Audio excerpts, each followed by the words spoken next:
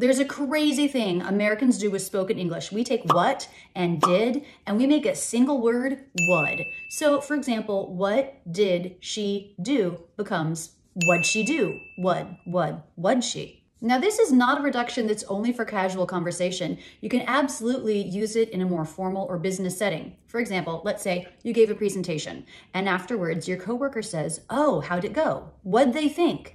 What did they think? Would. What they think. Now, if the next word is you, we might change it even more. What did you becomes what you. So that D becomes a J, what you, or what ya. What'd you think? What'd you do? What'd you say?